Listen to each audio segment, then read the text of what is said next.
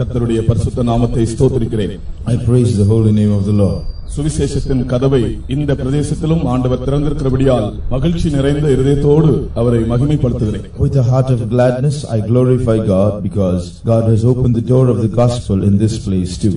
அருமையானவர்களே இயேசு என்னும் பெயரையே இதுவரைக்கும் கேட்டிராத ஜனங்கள் இன்னும் ஜீவித்துக் கொண்டிருக்கிறார்கள் ஆனால் அந்த பெயரை அடிக்கடி கேட்கவும் ஆழமாக கேட்கவும் ஆண்டவர் நமக்கு அருளின இந்த ஆசீர்வாதங்களுக்காக ஆசீர்வாதமான வேலைகளுக்காக நாம் எல்லாரும் நன்றி நிறைந்த இருதயத்தோடு காணப்பட வேண்டும் There are still so many people in this world who have not yet heard the name of Jesus even once, but we have to be filled with a grateful heart because we have had the privilege of hearing this name of Jesus over and over again and to hear that name in depth. அப்படி நன்றி உள்ளவர்கள் கரங்களை உயர்த்தி ஒரு மூன்று hallelujah சொல்லுவோம் ஹalleluya ஹalleluya ஹalleluya இந்த கடைசி காலத்தின் கடைசி பகுதியிலே நாம் வாழ்ந்து கொண்டிருக்கிறோம் We are living in the last part of the last days. கல்வாரியை நோக்கி கதறி அழ வேண்டிய காலகட்டத்திலே நாம் ஜீவித்துக் கொண்டிருக்கிறோம் We have come to a time period where we have to look to Calvary and cry out. அற்புத சிலுவையின் அதி உன்னதமான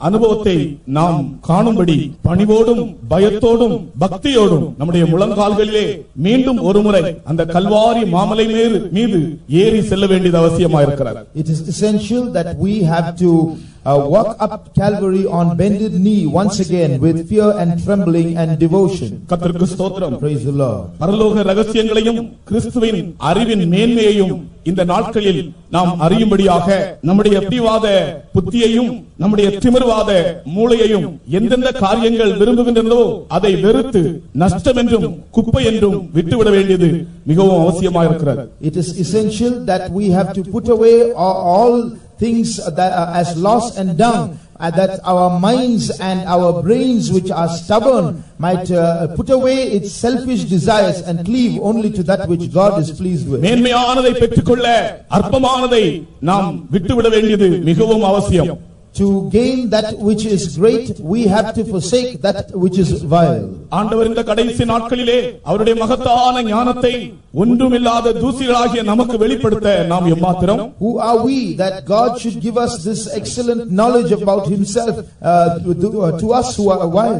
அப்போஸ்தலன் கூறுகிறார் ஹா ஆண்டவருடைய ஞானம் அறிவு என்பவைகளின் ஆழம் எவ்வளவு பெரியது என்று ஆச்சரியமாக எழுதுகிறார் Oh, the depth of the riches of the knowledge and wisdom of God, as writes St. Paul in the epistles. கர்த்தருடைய சத்துவம் என்னும் மாபெரும் ஐஸ்வர்யத்தை அளவிட்ட மனிதன் யார் Who is the man who has measured the great riches of God?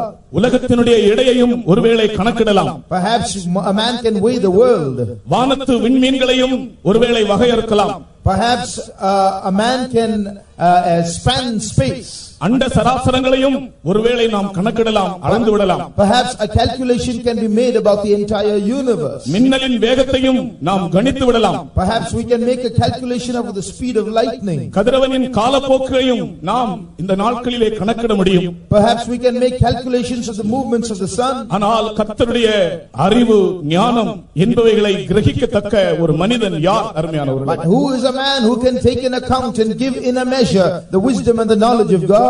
இந்த உலகத்தின் ஞானிகளுக்கு மறைத்து பேதைகளுக்கு பாலகருக்கு அதை வெளிப்படுத்திக் கொண்டே இருக்கிறார். God has hidden these secrets to the wise of the world and has revealed them to the babes. பாலகன் போல் தன்னை தாழ்த்துகிறவன் எவனோ?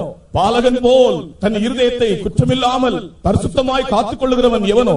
இன்றைக்கு அவனுக்கு அந்த ஞானத்தை அந்த மகா ஞானத்தை ஆண்டவருடைய ரகசியத்தை அவர் சபையின் மூலமாய் வெளிப்படுத்திக் கொண்டிருக்கிறார். God gives this wisdom, this uh, great wisdom, these secrets through the church to his to those people who humble themselves and who keep their hearts blameless like babes. கர்த்தருக்கு ஸ்தோத்திரம் Praise the Lord. தேவனுடைய வசனத்தில் மறைந்து கிடக்கிற சத்தியங்களை இந்த நாட்களிலே கிரகிக்கும்படி பரிசுத்த ஆவியானவர் நம் யாவருக்கும் உதவி செய்வாராக May the Holy Spirit help us all that we might be able to understand the secrets of the word these days. நம்முடைய வேத பாடத்தின் தலைப்பு பூர்வ பிதாக்கள் கட்டின பலிபீடங்கள் The, the heading or the theme of our Bible studies these days is the altars built by the forefathers. கர்த்தருக்கு ஸ்தோத்திரம் Praise the Lord. இந்த நாட்களிலே நம்முடைய பூர்வ பிதாக்கள் சிலர் கட்டின சில பலிபீடங்களின் ஆவிக்குரிய சாராம்சம் என்ன என்பதை நான் உங்கள் முன்னே வைக்க விரும்புகிறேன் I would like to place before you certain spiritual implications derived from the altars built by our forefathers. ஆபேல் முதல் அதற்கு பின்பு ஜீவித்த அநேக பரிசுத்தவான்களை நாம் பார்க்கும்போது அவர்கள் கட்டின பலிபீடங்களை குறித்து வேதத்தில் ஆதாரமாய் எழுதப்பட்டிருக்கிறார் When we consider the saints of yore, we read that many of them from Abel built altars. அவர்கள் ஒவ்வொருவரும் கட்டின பலிபீடம் நாம் அறிந்து கொள்ள வேண்டிய இந்த நாட்களிலே எப்படிப்பட்ட அனுபவத்தோடு நாம் காணப்பட வேண்டும் என்கிற ஆழமான காரியங்களை வெளிப்படுத்துகின்றன Each of those altars reveal to us spiritual lessons that are very essential for us in these days. இந்த படத்தை பாருங்கள் Look at the chart behind. முதலாவது ஆபேலின் பலிபீடம் First of all, we see the altar of Abel. இரண்டாவது நோவாவின் பலிபீடம் Secondly, the altar of Noah. மூன்றாவது Abraham கட்டின பலிபீடங்கள் ஐந்து விதமான பலிபீடங்கள் Thirdly, five altars built by Abraham. ஈசாக்கின் பலிபீடம் The uh, altar built by Isaac. யாக்கோபின் The பலிபீடங்கள் altar of Jacob. இப்படியே ஒவ்வொரு ஒவ்வொன்றாக மோசையின் பலிபீடங்கள் யோசுவாவின் பலிபீடம் இப்படியே பல பலிபீடங்களை குறித்து இந்த நாட்களில் நான் உங்களுக்கு பேச விரும்புகிறேன் So we, I would like to speak to you about many of these uh, altars, like the altars of Joshua and Moses and so on. பலிபீடம் என்றாலே நாம் ஆண்டவருக்கு அர்ப்பணிக்கிற ஒரு அனுபவத்தை தான் அது வெளிப்படுத்துகிறது. The very the altar itself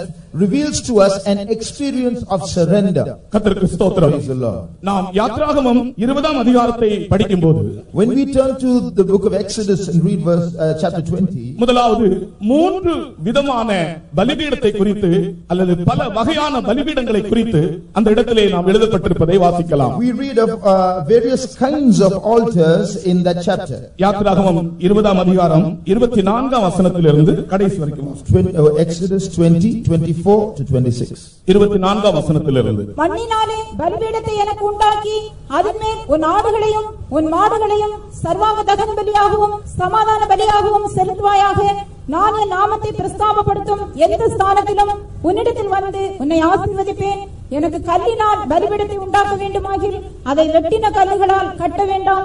அதன் மேல் ஒளியிட்ட உடனே அதை அசூசிப்படுத்துவாய். என் பலிபிடத்தின் மேல் உன் நிர்வாணம் காணப்படாதபடிக்கு படிகளால் அதன் மேல் ஏறவும் வேண்டாம். நான் ஆபேலின் பலிபிடத்தை குறித்து உங்களுக்கு சொல்வதற்கு முன்னே இங்கே நாம் வாசித்த பலவிதமான பலிபீடங்களை குறித்தும் பலிபீடம் என்றால் என்ன என்பதை குறித்தும் உங்களோடு நான் பேசுகிறேன் Before I speak to you about the first altar built by Abel, I would like to speak to you about the various kinds of altars mentioned in this scripture portion. இப்பொழுது நாம் வாசித்த இருபத்தி நான்காம் வசனம் முதல் இருபத்தி ஆறாம் வசனம் வரைக்கும் ரெண்டு பலிபீடங்களை குறித்து வாசிக்கிறோம் From verses 24 to 26, we read of two altars. ஒன்று மண் பலிபீடம் இன்னொன்று கல் பலிபீடம் One is an altar of earth, the other is an altar of stone. பிரியமானவர்களே இயேசு கிறிஸ்து ஒரு கேள்வி கேட்டார் Beloved, Jesus asked a question. மதியேடரே குருடரே எது விசேஷமானது பலிபீடமா அல்லது காணிக்கையா There, Jesus asked, O fools and blind, which is more important, the altar or the gift upon the altar? அங்கே மதிகேடர் என்றும் குருடர் என்றும் அழைக்கப்பட்டவர்கள் தவறான வேதத்தை குறித்து தவறான விளக்கம் கொண்டபடியால் தான் மதிகேடர் என்றும் குருடர் என்றும் அழைக்கப்பட்டார்கள் Jesus addressed those group, that group of people as fools and blind only because they misunderstood the word of God. மதிகேடரே குருடரே எது விசேஷமானது Ye fools and blind, which is greater? மத்தேயு இருபத்தி மூன்றாம் அதிகாரம் பத்தொன்பதாம் வசனத்திலே அதை நாம் வாசிக்கிறோம் You read that in Matthew 23, 19. பலிபீடமா அல்லது காணிக்கையா Is it the gift or the altar? வாசிங்கள் மதிகேடரே குருடரே எது முக்கியம் காணிக்கையோ காணிக்கையை பரிசுத்தமாக்குகிற பலிபீடமோ இயேசு இந்த ஆ, இங்கிலீஷ்ல படிங்க தயவு செய்து. Ye fools and blind, for whether is greater the gift or the altar that sanctifieth the gift? காணிக்கை விசேஷமானதா அல்லது பலிபீடம் விசேஷமானதா Is the altar greater or the gift? காணிக்கையை விட காணிக்கையை பரிசுத்தமாக்குகிற பலிபீடம் தான் விசேஷமானது Here we understand that the altar that sanctifies the gift is greater than the gift itself. காணிக்கையும் நாம் தான் பலிபீடமும் நாம் தான் In the New Testament, we are the gift and we are the altar. இவரே நிருபக்காரன் சொல்லுகிறான் நமக்கு ஒரு ப- ஒரு பலிபீடம் உண்டு என்று கத்தராகிய இயேசு அந்த பலிபீடம் In the epistle to the Hebrews, we read, We have an altar, referring to Jesus. அந்த அனுபவத்தை யார் யார் அடைகிறார்களோ அவர்களும் பலிபீடமாய் இருக்கிறார்கள் And all those who have that experience, they are also altars. காணிக்கை செலுத்த ஆண்டவருக்கு காணிக்கை செலுத்த உலகத்தில் அநேகர் உண்டு There are many people in this world to offer sacrifices or gifts. ஆனால் அவர்களுடைய வாழ்க்கையை பலிபீடமாக்குகிறவர்கள் மிக குறைவா இருக்கிறார்கள் But there are very few who make their life an altar. உலகத்தில் எந்த மனிதனும் ஆண்டவருக்கு ஒரு காணிக்கை செலுத்த தயங்க தயங்க மாட்டான்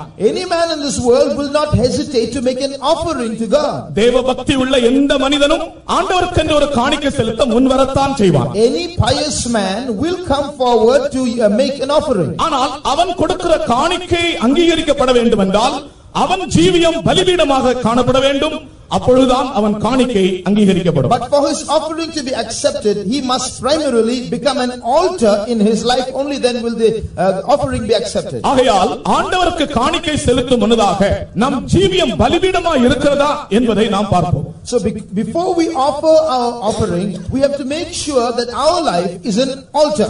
பலிபீடமா இருக்கிறதா என்பதை காண வேண்டும் என்றால் பலிபீடம் கட்டினவர்களுடைய ஜீவியம் எப்படி இருந்ததை படிப்போம் To check if our life is an altar or not, we have to consider the lives of those who built altars. கர்த்தருக்கு ஸ்தோத்திரம் Praise the Lord. முதலாவது நான் மண் பலிபீடத்தை பற்றி சொல்லுகிறேன் First of all, I will tell you about the altar of earth. வானத்தையும் பூமியையும் சிருஷ்டித்த மகா உன்னதமான தேவன் சொல்லுகிறார் எனக்கு நீங்கள் பலிபீடத்தை கட்டுவதா இருந்தால் மண்ணினாலே எனக்கு பலிபீடத்தை உண்டாக்குவீர்களாக என்று சொன்னார் The Most High God, the creator of the heavens and the earth says, if you make an altar for me, make it of earth. நான் இந்த வசனத்தை படிக்கும்போது என் உள்ளத்திலே தொடப்பட்ட காரியத்தை சொல்லுகிறேன். I tell you what touched my heart when I read this verse. பலிபீடத்தை உண்டாக்க சொன்ன தேவன் மண்ணினாலே உருவாக்க சொன்னார். வானத்தையும் பூமியையும் சிருஷ்டித்த மகா தேவன். அது தேவனுடைய தாழ்மையை காண்பிக்கிறார். God, the creator of the heavens and the earth, who made everything, commands that an altar be made for him out of earth. It shows his great humility. மனிதனை ஆசீர்வதிக்கும்படி மனிதனை சந்திக்கும்படி மனிதனை உயர்த்தும்படி மனிதனை மேன்மைப்படுத்தும்படி தேவன் தன்னை தாழ்த்துகிற ஒரு பகுதியை தான் இந்த மண் பலிபீடம் காண்பிக்கிறது To bless man, to exalt man, to promote man, to visit man, we see how God humbles himself, himself through this altar. என்னை கேட்கிற அருமையான சகோதரர்களே சகோதரிகளே இன்றைக்கு நான் அறிவிக்கிற சுவிசேஷம் உங்களுக்காகவும் எனக்காகவும் தன்னை தாழ்த்தின ஒரு தேவனை பற்றி தான் இன்றைக்கு நாங்கள் சுவிசேஷம் அறிவிக்கிறோம் Beloved brothers and sisters who are listening to me, the gospel that we are pro- uh, proclaiming now is the gospel about a God who humbled himself. எனக்கு மண்ணினாலே பலிபீடத்தை உண்டாக்குவீர்களாக என்று சொன்னார் தேவன் மனிதன் நிமித்தம் தேவன் எத்தகைய தாழ்மை உடையவரானார் என்று அது காண்பிக்கிறது Make an altar for me out of earth, says the Most High God. This shows how humble God became for the sake of man. நாம் விசுவாசிக்கிற தேவன் மனிதனுக்காக தன்னை தாழ்த்தின தேவன் The God whom we believe in is a God who humbled himself for man. உனக்காக அவர் தன்னை தாழ்த்தும் போது நீ உன்னை தாழ்த்தாமல் இருப்பது நியாயமா If he has humbled himself for your sake, is it justifiable if you do not humble yourself? கர்த்தருக்கு ஸ்தோத்திரம் Praise the Lord. மண் பலிபீடத்தின் அடுத்த பகுதி The next part of the altar of earth. தேவன் தன்னை தாழ்த்தினார் உண்மைதான் It is true. God humbled himself. ஆனால் மனிதன் தன்னை ஒரு மண் என்று நினைவு கூற வேண்டும் But man should remember he is dust. இந்த மண் பலிபீடத்திலிருந்து நாம் விளங்கிக் கொள்கிற அடுத்த சத்தியம் அதுதான் That's the next truth we learn from the altar of earth. உலகத்தில் இருக்கிற எந்த மனிதனானாலும் எந்த ஜாதியினானாலும் எந்த பாஷைக்காரனானாலும் அவன் ஆசீர்வதிக்கப்பட வேண்டும் என்றால் அவன் காணிக்கை அங்கீகரிக்கப்பட வேண்டும் என்றால் அவன் தன்னை ஒரு மண் என்று நினைவு கூற வேண்டும் Every man born in this world, every man of every nation and language, for his offering to be accepted, he must remember primarily that he is dust. விழுந்து போன மனிதனுக்குள்ளே தலைவிரித்து தாண்டவம் ஆடுகிற ஒரு சுபாவம் தன்னை பற்றி மேன்மையாக எண்ணுவதும் பேசுவதும் One prominent nature of every fallen man is boasting about himself, speaking about himself. உலகத்தில் எத்தனையோ ஜாதிகளும் எத்தனையோ பாஷைக்காரரும் இருக்கிறார்கள் ஆனால் தன்னை ஒரு மண் என்று சொல்லுகிற மனிதன் எத்தனை பேர் எத்தனை பேர் அப்படி சொல்லுகிறார் There are so many nations and so many languages in this world, but how many people are there who recognize themselves as dust? நூற்றி மூன்றாம் சங்கீதத்திலே தேவன் நம்மை மண் என்று நினைவு கூறுகிறாரா In Psalm 103 we read, He remembereth that we are dust. தேவன் நம்மை மண் என்று நினைவு கூறும்போது நாம் நம்மை ஒரு பொருட்டென்று எண்ணலாமா? If God remembers that we are dust, can we think something of ourselves? எதுக்கும் உதவா ஏகலித்த ஏழையான். எதுக்கும் உதவா ஏகலித்த ஏழையான். ஏற்றிரோ என்னையும் சேர்த்தீரோ மந்தையில் ஏற்றீரோ என்னையும் சேர்த்தீரோ? வந்தையில் என்னதான் பதில் செய்வேன்? கண்டிடும் வேளை நான் என்னதான் பதில் செய்வேன்? கண்டிடும் வேளை. சரியான பிச்சு கிடைத்த பிற்பாடு நாம் எல்லாரும் சேர்ந்து பாடுவோம். எதுக்கும் உதவா ஏகலித்த ஏழையா Thank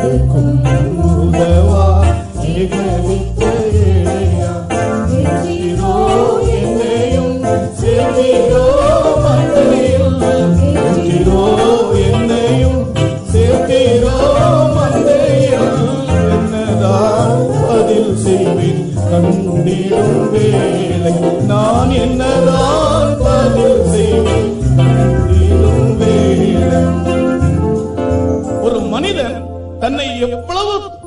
தகுதீனமானவன் என்பதை எப்போதும் நினைக்க நினைத்தவனாக இருக்க வேண்டும் Every man should consciously live understanding the fact that he is always unworthy. உலகத்தில் எத்தனையோ ஜாதியினர்கள் ஜீவிக்கிறார்கள் பாஷைக்காரரும் ஜீவிக்கிறார்கள் உயர்ந்தவர்கள் தாழ்ந்தவர்கள் பணக்காரர்கள் பாமர மக்கள் ஜீவிக்கிறார்கள் ஆனால் பலிபீடமாக வேண்டும் என்றால் நான் ஒரு மண் என்று ஒருவன் நினைவு கூற வேண்டும் There are so many people of so many castes and language, people, languages, people who are high and low and rich and poor. But for him to be an altar, he must remember that he is dust. என்னை கேட்கிற சகோதரனே நீ எவ்வளவு உயர்ந்தவனா இருந்தாலும் எவ்வளவு படித்தவனா இருந்தாலும் நீ எந்த உயர்ந்த குலத்தில் பிறந்தவனா இருந்தாலும் இப்பொழுது நீ உன்னை ஒரு மண் என்று நினைத்தால் இப்பொழுதே நீ ஒரு பலிபீடம் ஆவாய் பலிபீடம் எங்கே உண்டோ அங்கே ஒரு அக்னியும் இறங்கும். Friend who is listening to me, no matter what caste you belong to, you may be a great person, you may be an educated man belonging to a high caste, but remember, if you humble yourself and remember that you are dust, there you will see fire burning. நான் திரும்ப அந்த கோரஸை பாட போகிறேன் I'm going to sing that chorus again. தயவுசெய்து தெ- தெரிந்ததான எல்லாரும் என்னோட சேர்ந்து கைதட்டி பாடுவோம் All of you who know this, please join me clapping your hands. நாம் கர்த்தருக்குள் மகிழ்ச்சி அடையும் போது கர்த்தரை குறித்து மேன்மை பாராட்டும் போது உலகத்தின் அசுத்த ஆவிகள் சிறைப்பட்டு போகின்றன அருமையானவர்களே When we rejoice in the Lord and we uh, rejoice and sing for the Lord, then all evil spirits in this place will go into captivity.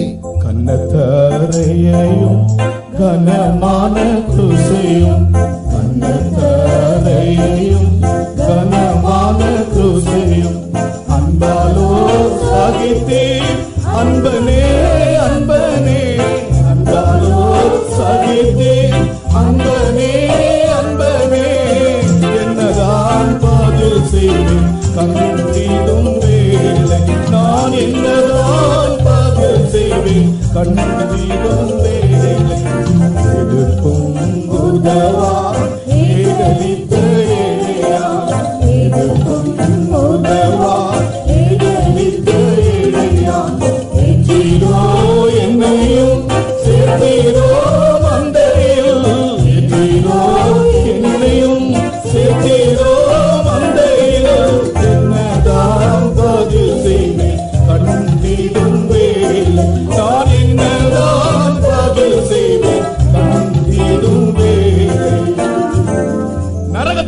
கிடையாது In hell, there is no singing. பாட்டு பரலோகத்துக்கு உரியது Singing belongs to heaven. விழுந்த தூதன் இன்றைக்கு நரகத்துக்கு பாட்டை கொண்டு போக பிரயாசப்படுகிறான் ஆனால் நரகத்துல போனால் ஐயோ ஐயோ என்றுதான் சத்தம் கேட்கும் fallen angels are trying to take songs to hell, but in hell, you can only hear sounds of woe. நீ எவ்வளவு தகுதியினமானவன் என்று எண்ணி நீ பாடிக்கொண்டிருந்தால் உன் இருதயமும் கண்ணும் நிரம்பும் நீ ஒரு பலிபீடமாய் மாறுவாய் If you remember how unworthy you are, then your eyes will be filled and your heart will be filled and you will become an altar. நீங்கள் எனக்கு பலிபீடம் கட்டினால் மண்ணினாலே எனக்கு பலிபீடம் உண்டாக்குவீர்களாக If you make an altar for me, make an altar of earth. கத்தருக்கு ஸ்தோத்திரம் Praise the Lord. அது நாம் நம்மை மண் என்று நினைவு கூற வேண்டும் என்று காண்பிக்கிறது It shows that we have to remember that we are dust. அடுத்தது இரண்டாவது பலிபீடம் கல் பலிபீடம் The second altar is an altar of stone. அதே யாத்திராகமம் இருபதாம் அதிகாரத்திலே கல் பலிபீடத்தை பற்றி வாசிக்கிறோம் We read in that same scripture portion of the altar of stone. எனக்கு கல்லினால் பலிபீடத்தை உண்டாக்க வேண்டுமாகில் அதை வெட்டின கல்லுகளால் கட்ட வேண்டாம் அதன் மேல் உளியிட்ட உடனே அதை அசூசிப்படுத்துவாய் ஒருவேளை நீங்கள் எனக்கு கல்லினாலே பலிபீடத்தை உண்டாக்க விரும்பினால் Perhaps you want to make an altar of stone for me. எனக்கு நீங்கள் வெட்டின கற்களாலே பலிபீடத்தை உண்டாக்க வேண்டாம் Then do not make an altar out of hewn stone or cut stones. இந்த கல் பலிபீடம் என்பது முதலாவது இதை காண்பிக்கிறது First of all, what does this altar of stone refer to? சத்தியத்தின் நிமித்தம் பாடுகளும் கஷ்டங்களும் வரும் வேளையில் நம்முடைய முகத்தை கற்பாறையை போல் ஆக்க வேண்டும் அதுதான் கல் பலிபீடம் When, uh, because of the truth, we have to face hardship and sufferings, we have to make our face like a flint or a rock. That is an altar of stone. ஒரு பலிபீடமாக விரும்புகிற மனிதன் கஷ்டங்களையும் உபத்திரவங்களையும் அவன் எவ்விதமாய் சகிக்க வேண்டும் என்பதை அந்த கல் என்கிற வார்த்தை காண்பிக்கிறது That word stone shows how a man who wants to become an altar must face hardship and tribulation. கிறிஸ்தவ மார்க்கம் என்பது பாடுகளின் மார்க்கம் The Christian way is a way of suffering. ஆகையினால் தான் ஐம்பதாம் ச- ஏ- ஐம்பதாம் அதிகாரம் ஏசாயாவிலே ஏழாம் அதிகாரம் ஏழாம் வசனத்தில் படிக்கும்போது That's why in Isaiah 57 when we read, இயேசு கிறிஸ்துவனுடைய பாடுகளை வரிசையாக ஒன்றன் பின் ஒன்றாக எழுதி இவைகள் நடுவிலே அவர் தன் முகத்தை கற்பாறையை போலாக்கினார் chapter 50 verse 7, we see describing the sufferings of Jesus one by one. He says, I have set my face like a flint. கர்த்தராகிய ஆண்டவர் எனக்கு துணை செய்கிறார் ஆகையால் நான் வெட்கப்படேன் நான் வெட்கப்பட்டு போவதில்லை என்று அறிந்திருக்கிறேன் ஆதலால் என் முகத்தை கற்பாரை போலாக்கினேன் சத்தியத்தின் நிமித்தம் ஒரு மனிதன் தன் முகத்தை கற்பாறையை போல் ஆக்காவிட்டால் அவன் வெட்கப்பட்டு போவான் If a man does not make his face like a flint for the sake of the truth, he shall be ashamed. English வாசிங்க For the Lord God will help me, therefore shall I not be confounded. Therefore have I set my face like a flint, and I know that I shall not be ashamed. இந்த ஜீவியத்தில் பாடுகள் உண்டு In this life, we have sufferings. தொடக்க நாட்களில் இருந்தே இந்த இயேசு கிறிஸ்துவின் பாதையை பின்பற்றினவர்களை நாம் பார்க்கும்போது When we உபத்திரவங்கள் பாடுகள் வழியாகவே போனார்கள் When we consider the lives of those who followed the footsteps of Jesus, we understand that from the beginning, they walked the road of sufferings. அவர்கள் பாடுகள் பெருக பெருக தங்கள் முகத்தை கற்பாறையை போலாக்கினார் As their sufferings increased, they made their face like a flint. இனி இந்த கல்லினால் நீங்கள் ஒரு பலிபீடத்தை கட்ட விரும்பினால் அப்படியே அந்த கல்லை எடுத்துக்கொண்டு போய் நீங்கள் பலிபீடம் கட்டுங்கள் என்று சொன்னார் God's instructions were, when you take, uh, want to build an altar of stone, you have to take the stones as they are and place them for the altar. அதிலே ஒளி படக்கூடாது You should not have the sound of a chisel on it. வெட்டின கற்களால் அதை செய்யக்கூடாது You should not make it out of cut stones. இதனுடைய அர்த்தம் என்ன What does this mean? அப்படியே அந்த கல்லை கொண்டு போய் பலிபீடம் ஆக்குவது நாம் இருக்கிற வண்ணமாகவே ஆண்டவருக்கு என்று ஒப்படைப்பதை காண்பிக்கிறது Taking the stones as they are, not altering their shape, it shows our surrendering ourselves to God as we are. நீ இருக்கிற வண்ணமாக உன்னை நீ ஒப்பு கொடுத்தால் உன்னை அவர் மறுரூபமாக்குவார் உன்னை அவர் மகிமைப்படுத்துவார் When you surrender to God as you are, then He will transform you, He will glorify you. அதிலே ஒளிப்பட நீ இடம் கொடுக்கலாகாது Don't allow a tool to touch it. ஒளி என்பது தேவனுடைய சித்தத்தோடு உன்னுடைய விருப்பத்தை நீ கொண்டு வருவதை காண்பிக்கிறது Using a chisel means you are trying to bring in your will to mix it with God's will. தேவனுடைய சித்தத்தோடு மனிதனுடைய விருப்பத்தை கலக்கக்கூடாது Do not adulterate God's will by adding man's will to it. ஒரு கல்லை ஒரு ஒளியினால் மனிதன் வெட்டி எடுப்பதென்றால் அதை தன்னுடைய விருப்பத்திற்கு ஏற்றபடி வெட்டுகிறான் When a man chips at a stone using a chisel, it means he is trying to reshape it according to his will. தேவனுடைய சித்தத்தோடு உன்னுடைய விருப்பத்தை நீ கலக்காதே Do not add your desire to God's will. பலிபீடமாக வேண்டும் என்றால் தங்கள் விருப்பத்தை தியாகம் செய்தவர்கள் தான் பலிபீடமாக முடியும் Only those who have yielded or surrendered or submitted their own will can become an altar. கர்த்தருக்கு ஸ்தோத்திரம் Praise the Lord. இன்றைக்கு அநேகருடைய வாழ்க்கையிலே பிரச்சனைகளுக்கு காரணமே இதுதான் This is the reason for many problems in people's lives. தேவ சித்தத்திற்கு இருக்கிற வண்ணமாய் தங்களை ஒப்புக் கொடுக்காமல் தங்களுடைய விருப்பத்தை உள்ளே நுழைக்கிறபடியினால் வாழ்க்கையிலே பிரச்சனைகள் ஏற்படுகின்றன They do not uh, allow God's will to be accomplished as God's will, but they try to bring in their own wi- will in between and mess up things. உன்னுடைய விருப்பத்தை நீ கொண்டு வர வேண்டாம் தேவனுடைய சித்தத்திற்கு இருக்கிற வண்ணமாக அப்படியே உன்னை அர்ப்பணிப்பாயா Do not bring your will inside. Surrender to God's will as it is. அடுத்தது இந்த பலிபீடத்தை பற்றி கர்த்தர் சொல்லுகிற இன்னொரு காரியம் Another thing that God says about this altar, இந்த பலிபீடத்தின் மேல் உன்னுடைய நிர்வாணம் காணப்படலாகாது your nakedness should not be seen on the altar. பலிபீடத்தின் மேல் நிர்வாணம் காணப்படலாகாது Your, uh, your nakedness should not be seen on the altar. அதனுடைய அர்த்தம் உன்னுடைய ரகசிய பாவங்கள் நீ பலிபீடம் ஆவதற்கு தடையாக இருக்கும் That, that means your secret sins will be a hindrance to the al- being an altar. நீ ஒரு பலிபீடமா இருக்க வேண்டும் என்றால் உன்னுடைய வாழ்க்கையிலே ரகசிய பாவங்கள் காணப்படலாகாது For you to be an altar, you should not allow secret sins in your life. கர்த்தருக்கு ஸ்தோத்திரம் Praise the Lord. பலிபீடத்தை கட்டும்போது பலிபீடத்திலே படிகள் வைத்து பலிபீடத்தில் ஏறக்கூடாதாம் When you make an altar, do not uh, rise up above on the altar by steps. கர்த்தருக்கு ஸ்தோத்திரம் Praise the Lord. பலிபீடத்தை ஓரளவு உயரத்திலே வைத்து கீழே நின்று பலியை செலுத்தக்கூடிய அளவு உயரத்திலே பலிபீடத்தை கட்ட வேண்டும் அதற்கு மேலே நீ ஏறக்கூடாது உன் நிர்வாணம் அதிலே தெரியக்கூடாது You must build the altar in such a way that from the ground you can uh, perform your rituals, but do not allow yourself to rise up on the altar. ரகசிய பாவங்கள் நம்முடைய வாழ்க்கையில் ஒரு பெரிய தடையாக காணப்படுகின்றன Secret sins are a great hindrance to our s- li- spiritual life. நான் இதை சொல்லும் போதே உங்களுடைய ஜீவியத்தில் உள்ள ரகசியமான பாவங்கள் என்ன என்று உங்களுக்கு தெரியும் When I speak about this, you know what are the secret sins in your life. ரகசிய பாவங்களிலிருந்து விடுதலை பெற வழி என்ன What is the way in which you can be delivered from secret sins? ஆண்டவராகிய தேவனுக்கு முன்பாக நம்முடைய இருதயத்தின் அந்தரங்கத்தை திறந்து வைத்து நம்முடைய பாவங்களை அறிக்கை செய்வதல்லாமல் வேறொரு வழியே இல்லை Uh, other than opening our hearts to the Lord and confessing our sins, there is no other alternative. என் பிள்ளையே நீ உன் இருதயத்தில் இப்பொழுது நீ கேள்வியோடு இருக்கிறாய் My child, you are asking questions now in your heart. நான் உன்னை காண்கிற தேவன் உன் ரகசியங்களையும் நான் அறிகிறேன் I am a God who sees you. I know your secrets. நீ எனக்கு முன்பாக உன் பாவங்களை தாழ்த்தி அறிக்கை செய்ய மாட்டாயா நான் உன்னை கழுகி சுத்திகரிக்க வல்லவராக இந்த நேரத்தில் காணப்படுகிறேன் Will you not humble yourself and confess your sins before me? I am able to cleanse you and sanctify நீ you. பலிபீடமாவதற்கு உன் ரகசிய பாவங்கள் தடையாய் இருக்கும் Your secret sins are a hindrance to becoming an altar. ஆண்டவருக்கு முன்பாக உங்கள் இருதயங்களை இந்த வேளையிலே திறந்து வையுங்கள் உங்களுடைய ரகசியங்களை ஆண்டவருக்கு முன்பாக நீங்கள் வெளியரங்கமாக்குங்கள் அப்பொழுது நீங்கள் ஒரு பலிபீடமாக்கப்படுவீர்கள் Right now, open your hearts to the Lord. Make your secret sins bare before the Lord. Then He will sanctify you and make you an altar. கர்த்தருக்கு ஸ்தோத்திரம் Praise the Lord. அடுத்தது மூன்றாவது ஒரு பலிபீடத்தை பற்றி யாத்ராகமத்திலே வாசிக்கிறோம் அது வெண்கல பலிபீடம் The third uh, kind of altar is an altar of brass. மூன்றாவது பலிபீடம் வெண்கல பலிபீடம் மோசேக்கு தேவன் சொன்னதான வெண்கல பலிபீடம் அந்த பலிபீடம் மரத்தினால் செய்யப்பட்டு வெண்கலத்தால் மூடப்பட்டிருந்தது The third is an altar of brass. It is made of wood and covered with brass. It was made by Moses. இந்த வெண்கல பலிபீடமானது ஒரு மனிதனுடைய மனுஷீகம் ஆண்டவருடைய கிருபையினால் மூடப்படுகிறதை காண்பிக்கிறது This uh, altar, brazen altar, refers to how the humanness of man is covered or compassed about by the grace of God. எந்த மனிதனுக்கும் ஒரு பலவீனம் உண்டு ஒரு மனுஷீகம் உண்டு Every man has what is called human nature. ஆனால் மனுஷீகத்தோடு கூட பரலோகத்துக்கு ஒருவனும் ஏறி போகல் ஆகாது but with hue this human nature no man can go to heaven ஒரு மனிதனுடைய மனுஷிகத்தை தேவன் முற்றிலுமாக மாற்றி அவனை தெய்வீகமுள்ள தெய்வீகமானவனாய் மாற்றுகிறார்.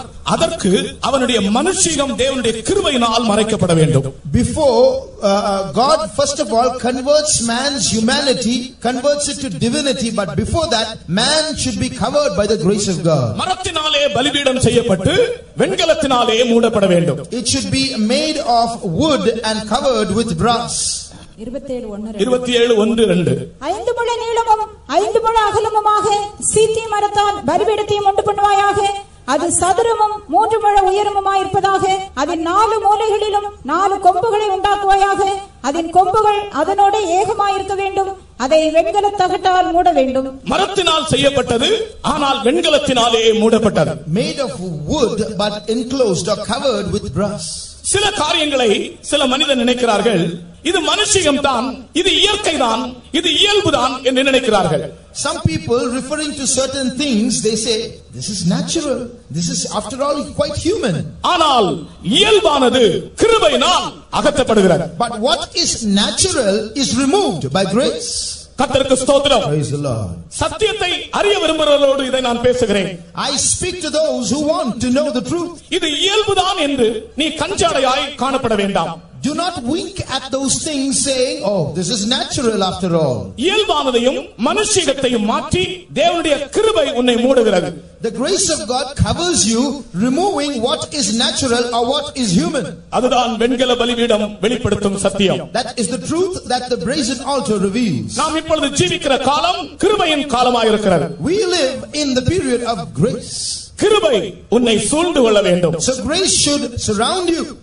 கத்தருக்கு ஸ்தோத்திரம்.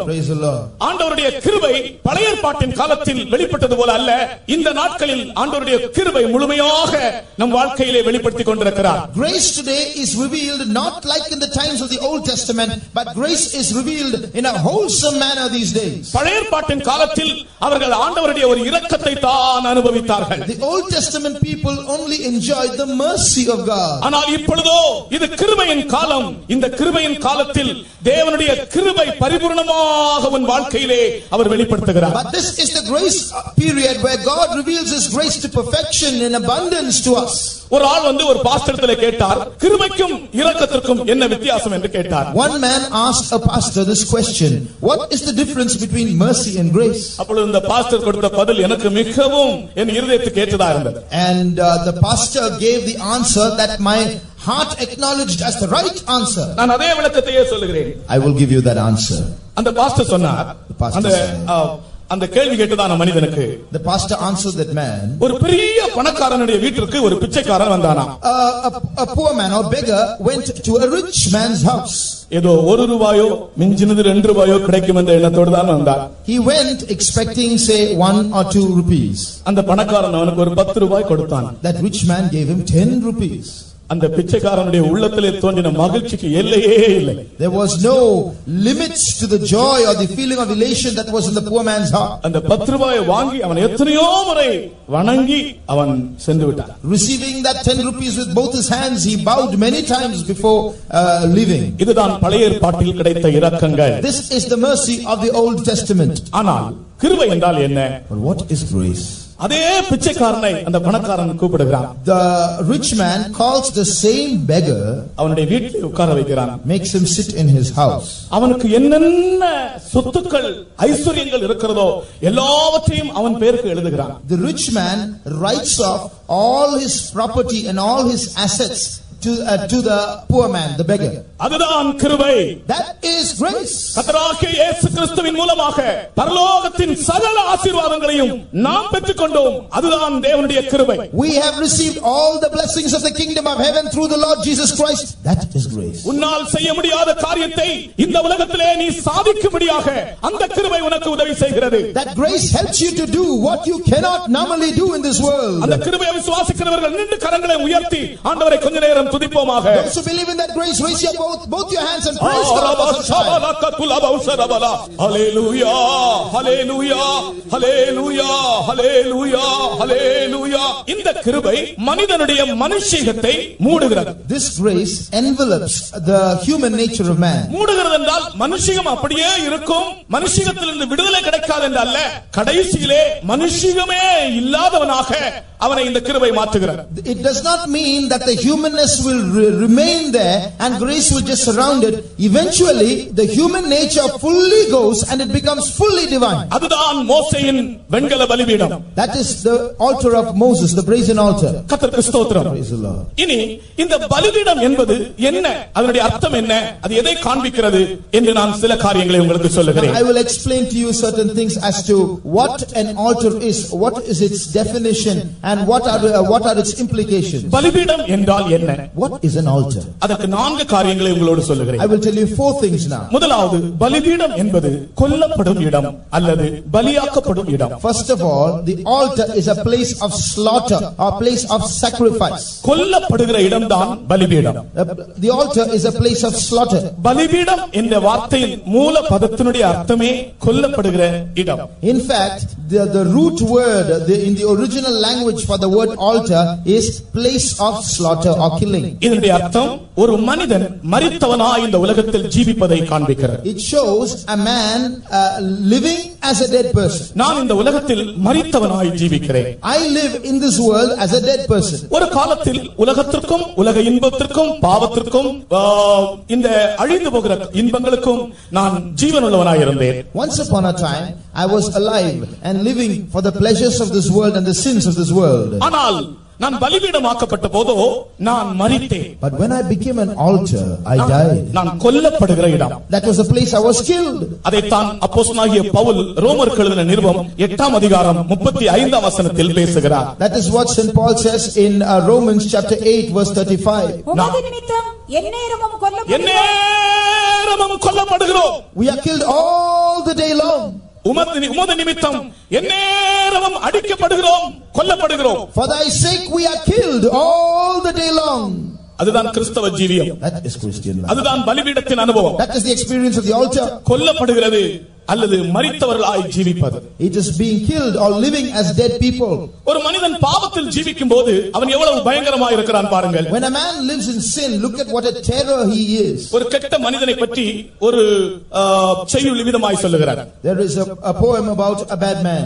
கொம்புளதற்கு ஐந்து குதிரைக்கு பத்து முழம் வெம்புகரைக்கு ஆயிரம் தான் வேண்டுமே வம்பு சரி தீங்கினர்தம் கண்ணில் படாத தூரத்தில் நீங்குவதே நல்ல நேரம் ஒரு கொம்புள்ள மாட்டை கண்ட அஞ்சு முழம் தள்ளிப்போ If you see um, an, o- uh, an ox with horns, keep away, keep five cubits away. குதிரைக்கு பத்து முழம் தள்ளிப்போ எட்டி உதைக்கும் You see a horse, keep ten cubits away because it will kick at you. வெம்பு கரிக்கு ஆயிரம் தான் வேண்டுமே ஒரு மதம் கொண்ட யானை வெம்பு கரி வெம்புகின்ற கரி கரி என்றால் யானை வெம்புகின்ற ஒரு யானையை கண்டால் நீ ஆயிரம் முழம் தள்ளிப்போ தப்பித்துக் கொள்ளலாம் When you see a mad elephant, then you uh, then keep away thousand cubits, then you can escape. ஆனால் ஒரு பொல்லாத மனிதனை கண்டால் ஐந்து முழமோ பத்து முழமோ ஆயிரம் முழமோ போதாது அவன் கண்ணீர் படாத தூரத்தில் நீங்குவதே நல்ல நெறி But if you see an evil man, don't keep away five or ten or thousand cubits. Keep away from so that he might not even see you with the eye.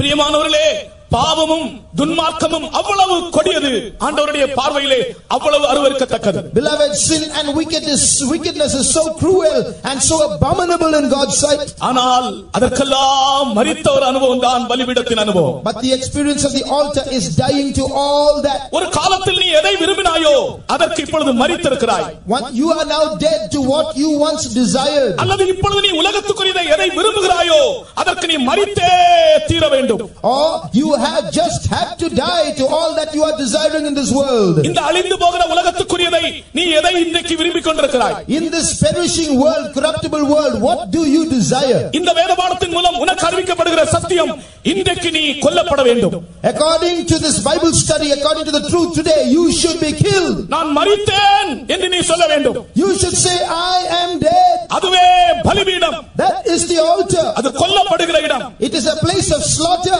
பாவத்திற்கும் உலகத்திற்கும் பாவ இன்பங்களுக்கும் சகலத்திற்கும் நாம் மரித்தவர்களாய் இருக்கிறோம் We are dead to sin, to the pleasures of this world, to the world and everything. அடுத்தது பலிபீடம் என்றால் என்ன இரண்டாவது காரியம் Second thing, as to what is the altar? பலிபீடம் என்பது தேவனை பிரஸ்தாபப்படுத்துகிற அல்லது தேவனை வெளிப்படுத்துகிற இடம் It is a, the altar is a place where God's name is declared or God is revealed. யாத்ராகமம் இருபதாம் அதிகாரம் இருபத்தி நான்காம் வசனம் 20, 24 of Exodus. பலிபீடம் என்றால் ஆண்டவரை பிரஸ்தாபப்படுத்துகிற ஒரு இடம் It is a place where God records His name or where God is exalted. என்- நான் என் நாமத்தை பிரஸ்தாபப்படுத்தும் எந்த ஸ்தானத்திலும் உன்னிடத்தில் வந்து உன்னை ஆசீர்வதிப்பேன் என் நாமத்தை பிரஸ்தாபப்படுத்துகிற இடம் அது It is a place where I record my name. அப்படி என்றால் ஒவ்வொரு தனி மனிதனும் ஆண்டவரை பிரஸ்தாபப்படுத்துகிற ஒரு இடம் Which means it is a place where every individual uh, records or declares God's name. இன்னைக்கு நம்ம சாதா பொதுவாக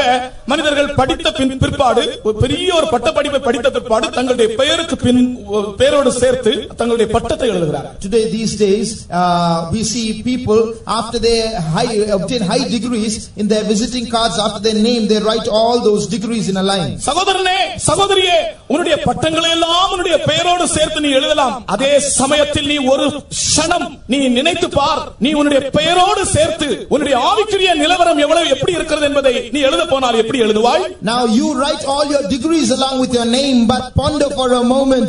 If you are going to write your spiritual state along with your name, what are you going to write? MBBS என்றோ அல்லாவிட்டால் அதற்கு மேலா எத்தனோ படிப்புகள் இன்றைக்கு உலகத்துல computer படிப்புகளும் என்னென்னமோ படிப்புகள் எல்லாம் இருக்கிறது எல்லாம் வலது பக்கத்தில் எழுதுவோம் We write அதே it. சமயத்தில் நம்முடைய பெயரை எழுதி நாம் நம்முடைய ஆவிக்குரிய ஜீவியத்தின் நம்முடைய நிலைமை என்ன என்பதை அதற்கு வலது பக்கத்திலே உங்களுடைய பெயரோடு சேர்த்து எழுதினால் நீங்கள் எப்படி இருப்பீர்கள் To the right of our names, we write our many degrees. But if we write our spiritual, true spiritual state to the right of our names, how will it be to look at it? உன்னுடைய பெயர் ஆண்டவராகிய தேவனை பிரஸ்தாபப்படுத்துகிற ஒரு பெயராய் இருக்குமோ Will your name be a name that declares the name of God? நான் இந்த வசனத்தை படிக்கும்போது நான் எனக்குள் கேட்ட கேள்வியை உங்கள் முன்னே வைக்கிறேன் I place before you the question that I asked myself when I read this verse. பலிபீடம் என்பது ஆண்டவரை பிரஸ்தாபப்படுத்துகிற இடம் The altar is a place where we declare God's name.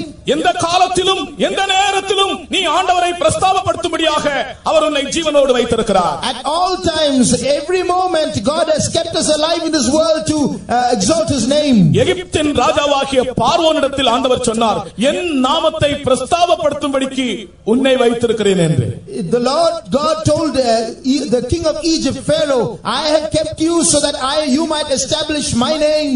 எப்படி அவன் ஆண்டவரை பிரஸ்தாபப்படுத்தினான் தெரியுமா Do you know how Pharaoh declared God's name? அவன் மேலே தேவனுடைய நியாய தீர்ப்பு வந்ததினால் அவன் மூலம் ஆண்டவருடைய நாமம் பிரஸ்தாபப்பட்டது God's name was declared or made known when God's judgment fell upon him.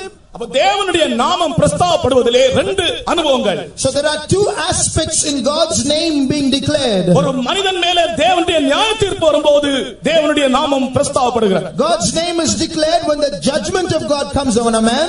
அதே சமயம் ஒரு மனிதன் மேல் தேவனுடைய ஆசீர்வாதங்கள் இறங்கும்போது அவன் மூலமாய் தேவனுடைய நாமம் பிரஸ்தாபப்படுகிறது At the same time, when uh, God's blessings come upon a man, God's name is established. பார்வோனை பற்றி சொல்லப்பட்ட வசனத்தை நீங்கள் யாத்திராகமம் ரோமர் ஒன்பதாம் அதிகாரம் பதினேழாம் வசனத்திலே நாங்க- நீங்கள் படிக்கலாம் ரோமர் ஒன்பதாம் அதிகாரம் பதினேழாம் வசனத்திலே In Romans 9:17 we read about Pha- Pharaoh declaring God's name. உன் மூலமாக என் நாமத்தை பிரஸ்தாபப்படுத்துவேன் என்று ஒரு இடத்தில் வேதத்தில் எழுதப்பட்டிருக்கிறது என்று பவுல் எழுதுகிறார் It says the scripture said unto Pharaoh, even for this purpose have I raised you up that I might show my power in thee. தேவனுடைய நியாய தீர்ப்பு அங்கே வந்தபடியினால் அங்கே தேவனுடைய நாமம் பிரஸ்தாபப்பட்டது God's name was declared even there because God's judgment came. ஒரு நியாய தீர்ப்பு வந்து அதன் மூலமாய் ஆண்டவருடைய நாமம் உன் மூலமாய் பிரஸ்தாபமாக கூடாது Through a judgment, God's name should not be declared in your life. தேவனுடைய ஆசீர்வாதங்களை நீ பெற்று தேவனுடைய நாமத்தை நீ உன் வாயினால் வெளிப்படுத்தி துதித்து மகிமைப்படுத்தி அவரை பிரஸ்தாபப்படுத்த வேண்டும் You must receive the blessings of God and by praising Him and exalting Him, you should declare His name. எப்போதும் இயேசு என்று நீ சொல்ல வேண்டும் Always say Jesus. கத்தருக்கு ஸ்தோத்திரம். ஒரு உயிர்த்தெழுதல் அன்றைக்கு ஒரு ஆலயத்திலே நடந்த சம்பவத்தை நான் உங்களுக்கு சொல்லுகிறேன் I will tell you an incident, incident that took place on Easter Day. ஒரு உயிர்த்தெழுதல் நாள் அன்று ஒரு ஆலயத்திலே ஆராதனை நடந்து கொண்டிருந்தது One Easter morning, there was a morning service going on in a certain church. அப்பொழுது சில ராணுவ அதிகாரிகள் அந்த ஆராதனை செய்கிறவரை கைது செய்யும்படியாக அங்கே சென்றார்கள் Some army officers went to uh, capture or arrest the preacher there. உயிர்த்தெழுந்த சந்தோஷம் ஆயிரக்கணக்கான விசுவாசிகள் But there are thousands of believers sitting there enjoying or celebrating the joy of Easter. ஆராதனை நடத்துகிறவர்களை வெளியே வர சொன்னார் They, are- the army officers asked the man who was conducting the service to come out. உன்னை- உன்னை நாங்கள் கைது செய்ய போகிறோம் We are going to arrest you. அப்பொழுது அவர் சொன்னார் You know what he said? நீங்கள் என்னை கைது செய்யுங்கள் You can- ஆனால் அதற்கு முன்பு நான் ஒரு மூன்று வார்த்தைகள் பேச எனக்கு அனுமதி கொடுங்கள் என்று சொன்னார் He said, You can imprison me, you can arrest me, but before that, please give me permission to utter three words before you all. ராணுவ அதிகாரிகள் அரஸ்ட் பண்ண வந்திருக்கிறதான வேளையிலே இருதயம் பதைத்து விடாதா Where will not a man's heart beat faster and tremble when army officers come to arrest him? சந்தோஷம் குறைந்து விடாதா Will not his joy diminish? அவர் சொன்னார் ஆயிரக்கணக்கான விசுவாசிகள் சூழ்ந்து இருக்கிறார்கள் இவர் சொன்னார் எனக்கு மூன்று வார்த்தை சொல்ல இடம் கொடுங்க Thousands of believers watching, he said, he told the army, army officers, give me permission to utter three words. அப்பொழுது அவர்கள் சொன்னார்கள் மூன்றே மூன்று வார்த்தைகள் சொல் அதற்கு மேல் சொல்லாதே And they said, three words and only three words, not a word more.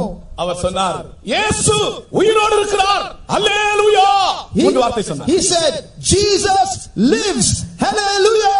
இவர் இப்படி சொன்ன உடனே கூடி நின்ற ஆயிரக்கணக்கான ஜனங்கள் இயேசு உயிரோடு இருக்கிறார் அல்லேலூயா என்று பிரஸ்தாபப்படுத்த தொடங்கினார்கள் And when he said that, those thousands of believers echoed, Jesus lives. Hallelujah. அது இருதயத்தின் ஆழத்திலிருந்து விசுவாசத்தோடும் தைரியத்தோடும் வந்த வார்த்தைகளா இருந்தபடினால் அரஸ்ட் பண்ண வந்தவர்கள் அதைரியப்பட்டு பயந்து நடுங்கி ஓடிவிட்டார்கள் Those words were words of faith and boldness that proceeded from the depth of the heart. And when the army officers heard it, they were discouraged and went நீ away. ஒரு பலிபீடமா உன்னுடைய பிரதிகூலமான சூழ்நிலைகளிலே நீ ஆண்டவரை பிரஸ்தாபப்படுத்து Are you an altar? Declare the name of your God in adverse situations. கர்த்தருடைய பரிசுத்த நாமத்திற்கு ஸ்தோத்திரம் Praise the Lord. எல்லாரும் சொல்லுங்கள் இயேசு எல்லாரும் சத்தமாக இவ்வளவு பேர் சத்தம் போட்டா எவ்வளவு சத்தம் வரும் தெரியுமா? இயேசு! Yes, உயிரோடு இருக்கிறார்! Hallelujah. ஹalleluya! இன்னொரு முறை இங்கிலீஷ் தெரிஞ்சவங்க இங்கிலீஷ்ல சொல்லுங்க Those who know English, say it in English. Telugu தெரிஞ்சவங்க தெலுங்குல சொல்லுங்க Tho- Those who know it in Telugu, say it in Telugu. Tamil தெரிந்தவர்கள் தமிழ்ல சொல்லலாம் And the others in Tamil. சத்தமாக சொல்லுவோம் Say it aloud. சாத்தானின் வல்லமைகள் சில வல்லமைகளை நான் இந்த இடத்தில் காண்கிறேன் I see some powers of Satan here. நம்முடைய சுவிசேஷத்திற்கு விரோதமான சில வல்லமைகளை இந்த இடத்திலே நான் காண்கிறேன் I see some powers at work working against this நாம் gospel. எல்லாரும் சேர்ந்து விசுவாசத்தோடு சொல்லுவோம் With faith, let's all get together and say, அவரை பிரஸ்தாவப்படுத்துகிற இடத்திலே வந்து ஆசீர்வதிக்கிற தேவன் நம்முடைய மத்தியில் வந்திருக்கிறார் God who blesses his people where they declare his name, he is in our midst. இயேசு Jesus உயிரோடு இருக்கிறார் lives. ஹalleluya Hallelujah. கர்த்தருக்கு ஸ்தோத்திரம் Praise the Lord. நான் இன்னும் ஒரு அரை மணி நேரம் இப்படியே சொல்ல வைக்கலாமான்னு நினைக்கிறேன் I like to repeat this for another half an hour. பிரியமானவர்களே நீங்கள் பிரதிகூலமான சூழ்நிலைகள் வரும்போது உங்கள் வாயினாலே அவரை பிரஸ்தாவப்படுத்துங்க So when situations are adverse in your life, declare him with your mouth. நம்மை கர்த்தர் ஜீவனோடு வைத்திருக்கிறதன் நோக்கமே எந்த சூழ்நிலையிலும் ஆண்டவரை நாம் பிரஸ்தாவப்படுத்தும்படிக்கு மகிமைப்படுத்தும்படி The reason for which God has kept us alive in this world is that we might uh, declare his name. அடுத்தது இந்த பலிபீடம் என்றால் என்ன Next, what is this altar? இது பரிசுத்தமாக்குகிற இடம் It is a place of sanctification. இந்த பலிபீடத்தை யாராலும் தொட்டால் அவர்கள் பரிசுத்தமாவார் If any man touches the altar, he is sanctified. இந்த பலிபீடம் யாரையாலும் தொட்டால் அது பரிசுத்தமாகும் If the altar touches anyone, the person becomes sanctified. யாத்ராகமம் இருபத்தி ஏழாம் அதிகாரம் முப்பத்தி ஏழாம் வசனம் Exodus, இருபத்தி ஒன்பதாம் அதிகாரம் முப்பத்தி ஏழாம் வசனம் Exodus 29, 37. பரிசுத்தமாக்குகிறது இந்த பலிபீடம் It is the altar that sanctifies. சகோதரனே சகோதரியே நீ ஒரு பலிபீடமாக இருந்தால் உன்னை தொடுகிறது பரிசுத்தமாகும் நீ தொடுகிறது பரிசுத்தமாகும் Beloved brother, sister, if you are an altar, what touches you will be sanctified and what you touch will be sanctified. கத்தராகிய இயேசு கிறிஸ்து ஈராயிரம் ஆண்டுகளுக்கு முன்பு ஒரு பலிபீடமாக இந்த உலகத்திலே சுற்றி The திரிந்தார் Lord Jesus Christ walked about in this world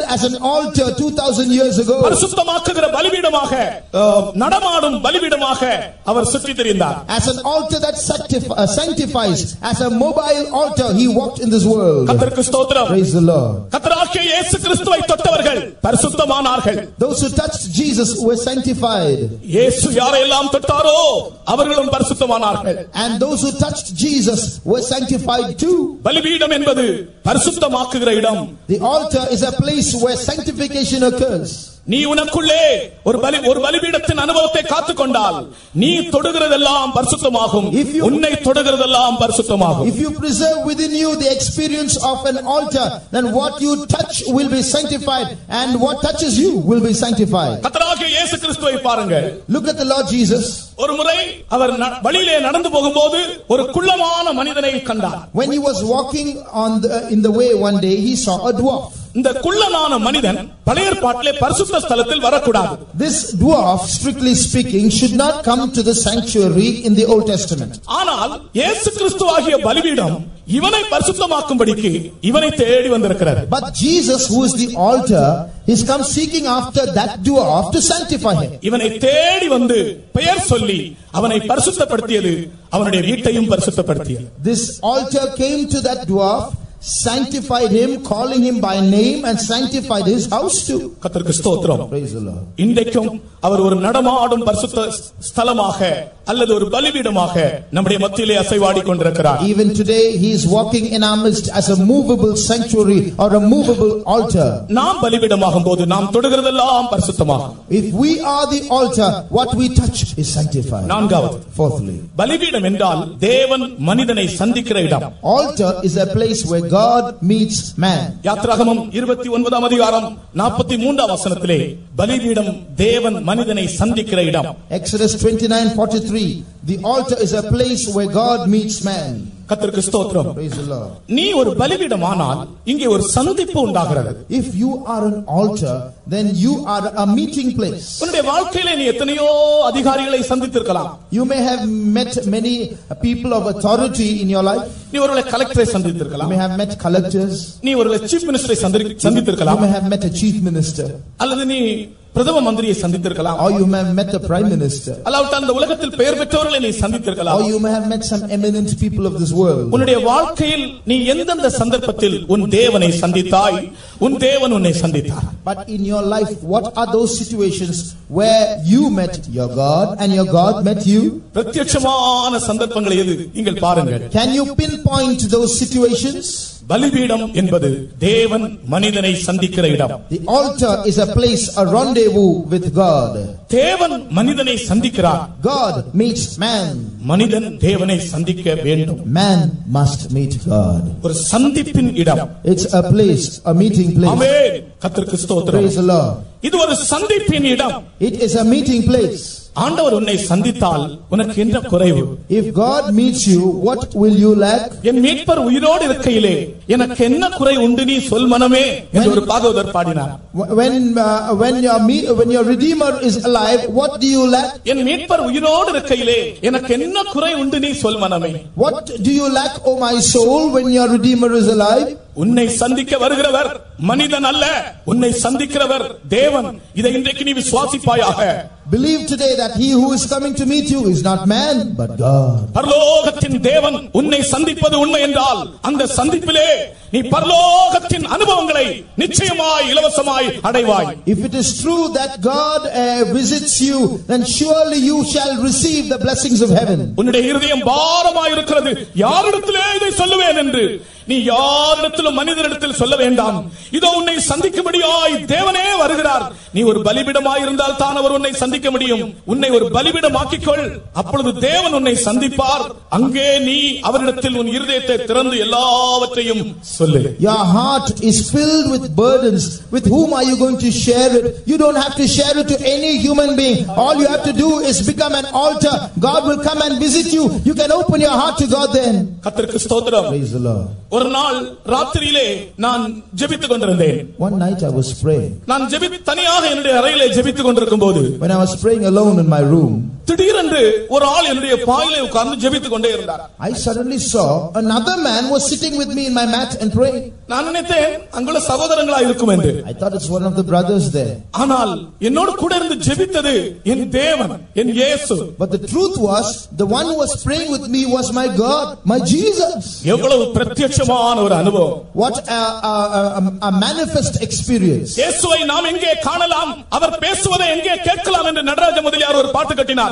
Nataraja Mudi- Mudalayar uh, composed a song, Where can we see Jesus? Where can we hear him? பனிபடர்ந்த மலை நடுவே அவரை பார்க்க முடியுமா கனி நிறைந்த சோலை நடுவே அவரை காண முடியுமா என்று கேட்டார் He was pinpointing to various places. Can you find him here? Can you find him there? வானவதில் பவனி வரும் கார்மிகள் கூட்டங்களே நீங்கள் இயேசுவை எனக்கு காண்பிப்பீர்களா என்று கேட்டார் He said, he addressing a group of people, Can you show me Jesus? இயேசு எங்கே காண முடியும் Where can you see Jesus? நீ இருக்கிற இடத்திலே அவர் உன்னை சந்திக்க வருகிறார் Where you are, he comes to meet you. இன்று நீ வீட்டிலே போய் உன்னுடைய படுக்கையின் பக்கத்திலே நீ முழங்காலில் நின்று இயேசுவே என்று சொல்லு இன்றைக்கு உன் தேவன் உன்னை சந்திப்பாரா இல்லையா என்பதை சோதித்து பார் Go home and kneel down by your bedside and call out Jesus and test and see if he will come to visit you or not. கர்த்தருடைய பரிசுத்த நாமத்துக்கு ஸ்தோத்திரம் Praise be to God's holy name. நாளைக்கு நீ வந்து சாட்சி சொல்ல போகிறாய் Tomorrow you are going to come and testify. உண்மையான ஒரு பலிபீடமாய் உன் வாழ்க்கை காணப்பட்டால் நிச்சயம் அங்கே தேவன் உன்னை சந்திக்கத்தான் வேண்டும் If you are truly an altar, God has to meet you there. தேவன் மனிதனை சந்திப்பது எதற்காக What does God meet man for? ஏதோ கொஞ்சம் பலூன் கொடுக்க முடியாகவா To give some balloons? கொஞ்சம் அல்வா கொடுக்க முடியாகவா Or to give some sweets? அல்லது ஏதாவது ஒரு கா- ஒரு ஒரு இப்பொழுது இருக்கிற லேட்டஸ்ட் கார் ஒன்று கொடுக்க முடியாகவா Or to give you the latest car? ஆண்டவர் மனிதனை சந்திப்பதற்கு எதற்காக Why does God come to meet man? வெறும் பூமிக்குரிய காரியங்களுக்காக அல்ல Not just for material suppli- uh, uh, supplies. அவனை தன்னை போல மாற்றும்படியாக அவனை சந்திக்கிறார் He visits man to make man like himself. ஆராதனை எதற்காக What is worship for? நீ தேவனை போல மாறும்படியாகத்தான் ஆராதனை It is so that you might become like God. நாம் தேவனை ஆராதிப்பதன் நோக்கம் என்ன What is the purpose of worship? நாம் தேவனை போல் மாற வேண்டும் என்ற நோக்கத்தோடு தான் It is that we might become like God. உலகத்துக்குரிய சில காரியங்களுக்காக நீ தேவனை சந்திக்க விரும்பாதே Don't try to come and visit God for some material supplies. உலகத்துக்குரிய காரியங்களுக்காக தேவன் வர வேண்டுமா Should God come down to meet your mundane needs? அவ்வளவுதானா தேவனிடத்தில் இருக்கிறது Is that is that all that is there with God? அதற்கு மேலானதை நீ காண முடியாதா Can't you see something more with Him? தேவன் மனிதனை சந்திக்க விரும்புவதன் நோக்கம் அவனை தன்னை போல மாற்றும்படியா God's purpose in meeting man is to make man like God. மோசே எப்படிப்பட்டவன் தெரியுமா You know who Moses was like? ஒரே வெட்டுல வெட்டி மணலுக்குள்ளே புதைக்கிறவன் தான் மோசே ஒரே வெட்டு ஒரே வெட்டு Moses was one with one chop he would bury a man in the sand. நான் நினைக்கிறேன் மோசே வைத்திருந்த கத்தி இரண்டாவது முறை வெட்டியிருக்க மாட்டான் ஒரே வெட்டுல வெட்டி அவனை புதைத்தான் Moses' sword was so sharp that he would not have to use it twice on a man. With one chop, the, the work would be done. அவன் பரிசுத்தவான் தான் பிரதிஷ்டை உள்ளவன் தான் கரைப்படாதவன் தான் அரண்மனையை விட்டு வெளியே வந்தவன் தான் ஆனால் ஒரு கொலைக்காரன் பிரியமானவர்களே He was a saint, a consecrated man, an undefiled man, one who stepped out of the palace, but he was a murderer, beloved. கொலை செய்யாதிருப்பாயாக என்கிற பிரமாணத்தை இந்த கொலையாளியிடத்திலே ஆண்டவர் கொடுக்க முடியுமா Can God give the commandment, thou shalt not kill, to this murderer? எப்படி இந்த கொலையாளி பூமியில் உள்ள சகலரை பார்க்கலும் சாந்த குணமுள்ளவனானான் How did this murderer become the meekest man in all the earth? சந்திப்பு தேவனை சந்தித்த சந்திப்பு அருமையானவர்களே It is the visitation of God, beloved. நீ தேவனை சந்தித்தால் உன் சுபாவம் மாறும் If you visit God, your character will நீ change. பயங்கர கோபியாக இருக்கிறாய் You may be a man with a short temper. எத்தனையோ முறை நீ கிறிஸ்தவன் என்று சொல்லி இருக்கிறாய் ஆனால் எத்தனையோ முறை உன் கையில நீ கத்தி எடுத்திருக்கிறாய் Calling yourself a Christian, remember the many times you have taken a knife in your hand. கத்தி எடுப்பது கெச்சமனையின் ஆவி அல்ல That's not the spirit of Gethsemane. கெச்சமனையின் ஆவி என்பது கத்தியை உரையிலே போடு அதுதான் கெச்சமனையின் ஆவி The spirit of Gethsemane is put your sword into your sheath. இந்த வார்த்தை கெச்சமனையில் வைத்து சொல்லப்பட்ட வார்த்தை That is a word mentioned at Gethsemane. கத்தியை பட்டயத்தை எடுக்கிறவன் கெச்சமனையின் ஆவி உள்ளவன் அல்ல He that taketh the sword does not have the spirit of Gethsemane. பட்டயத்தை அதன் உரையிலே போடு Put your sword into your sheath. கத்தருக்கு ஸ்தோத்திரம் Praise the Lord. இதே மோசே தேவனை சந்தித்து சந்தித்து சந்தகுணமுள்ளவனாய் மாறிவிட்டான் This Moses met God and met God and became a meek man. எவ்வளவு அருமையான ஒரு தேவன் What a blessed God. உன் தேவன் உன்னை சந்திக்க விரும்புகிறார் உன் தேவன் உன் சுபாவத்தை மாற்ற விரும்புகிறார் Your God wants to meet you. Your Hallelujah. God wants to change your character. உனக்கு வெறும் இந்த உலகத்தில் ஒரு பங்களாவுக்காக ஒரு வீட்டிற்காக தேவன் உன்னை சந்திக்க விரும்புகிறாயா You want to be meet God just for a house, for a bungalow? தேவனுடைய வல்லமை நீ எவ்வளவு மட்டப்படுத்தி விட்டாய் How much you limit the power of God? தேவன் உன்னை தன்னை போல மாற்றும்படி உன்னை சந்திக்கிறார் God wants to do something greater. He wants to make you like Him. ஒரு சின்ன பிள்ளை ஒரு வீட்டில் இருந்தால் There was a small child in a house. அப்பா வரும்போது When a small child sees the father coming, அந்த சிறிய குழந்தை ஒரு பலூன் தான் எதிர்பார்க்கும் the little child will expect nothing more than a balloon from the da- from her, uh, his daddy. அப்பா வெளியே போகும்போது சொல்லி அனுப்பும் அப்பா எனக்கு பலூன் கொண்டு வாங்க Child will say, "Daddy, please bring me a balloon when you come back." இல்லாவிட்டால் ஒரு பாம்பே மிட்டாய் போதும் Or one sweet will do. இன்றைக்கும் கூட ஆவிக்குரிய உலகத்திலே பலூனினாலும் பாம்பே மிட்டாயினாலும் திருப்திப்பட விரும்புகிறவர்கள் இருக்கிறார்கள் எவ்வளவு கேவலமான காரியம் Even today, there are people in the spiritual world who are satisfied if their God gives them a sweet or a balloon. How, uh, what a pitiful state. தேவன் மனிதனை சந்திக்க விரும்புவதன் நோக்கம் மனிதனை தன்னை போல மாற்றும்படியாக God wants to meet man so that man might become like God himself. இந்த மோசே தேவனை சந்தித்து சந்தித்து அவர் சத்தம் கேட்டு கேட்டு அவனுடைய சுபாவம் முற்றிலும் மாறியது God, uh, Moses met God, kept meeting God, and slowly his character was changed. அதைவிட ஒரு மேன்மையான அனுபவத்தை உனக்கு தர கத்தர் விரும்புகிறார் God wants to give you a greater experience. ஸ்தோத்திரம் Praise the Lord. நீ ஒரு பலிபீடமாக இருந்தால் தேவன் உன்னை சந்திப்பார் If you are an altar, God will visit you. இனி நான் இந்த முதலாவது பலிபீடமாகிய ஆபேலின் பலிபீடத்தை குறித்து ரெண்டு வார்த்தை சொல்ல I விரும்புகிறேன் would like to speak now a couple of words about the first altar built by Abel. இதை சொல்லும் முன்னதாக நீங்கள் இப்பொழுது நான் ஒரு பலிபீடமாக விரும்புகிறேன் என்ற ஒரு சமர்ப்பணத்தோடு உங்களுடைய கரங்களை உயர்த்தி கொஞ்ச நேரம் ஸ்தோத்திரம் பண்ணுங்க But before that, with a surrender, raising your hands, I want to be an altar. Praise God. ஹalleluya ஹalleluya ஹalleluya ஹalleluya எந்த காலத்திலும் எந்த நேரத்திலும் நன்றியாலும்மை நான் துதிப்பேன். எந்த காலத்திலும் எந்த நேரத்திலும் நன்றியாலும்மை நான் துதிப்பேன்.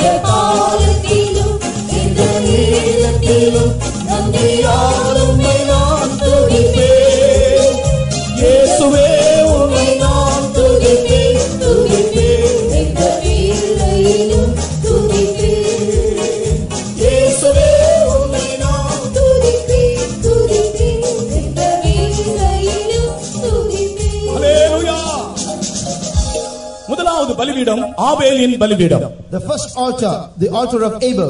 ஆபேல் விசுவாசத்தினாலே பலி செலுத்தினான் என்று வாசிக்கிறோம் அவன் பலிபீடம் கட்டினான் என்று எழுதப்படவில்லை அவன் விசுவாசத்தினாலே பலி செலுத்தினான் பலி செலுத்தப்படுகிற இடம் பலி பலிபீடம் தான் We, we read only that Abel offered a sacrifice by faith. We don't read that he built an altar. Nevertheless, the place where an, uh, uh, uh, sacrifice is offered is the altar. அவன் கல்லினாலே கட்டினானா மண்ணினாலே கட்டினானா அது எழுதப்படவில்லை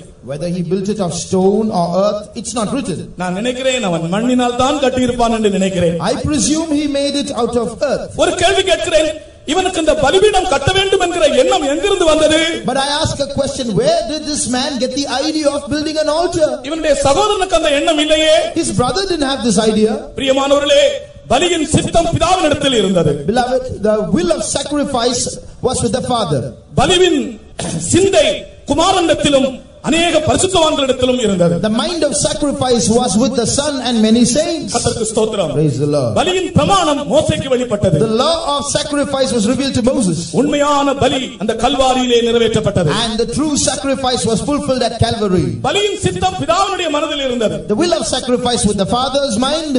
பலியின் சிந்தை குமாரனிடத்தில் இருந்தது அநேக நீதிமான்களுக்கும் அது இருந்தது The mind of sacrifice was with the son and with many righteous people. ஆபேலுக்கு யாரும் சொல்லிக் கொடுக்கவில்லை Nobody taught Abel. ஆனால் இந்த ஆபேலுடைய தகப்பன் ஒரு நாள் கூட பலி செலுத்தினதாக வேதத்தில் இல்லவே இல்லை The Bible does not record Abel's father offering even one single sacrifice. ஆதாம் பலி செலுத்தினதாக வேதத்தில் இல்லை The Bible does not say that Adam sacrificed. அவனுக்கு பலியின் சிந்தை இல்லை அருமையானவர்களே From which we understand he did not have the mind of sacrifice. தன் தகப்பன் ஒரு ஆவிக்குரியவன் அல்ல ஆனால் அவனுடைய மகனோ ஒரு பலியின் சிந்தை தேவனுடைய சிந்தை உடையவனாக இருந்தான் The father was not spiritual, but the son had the mind of a sacrifice.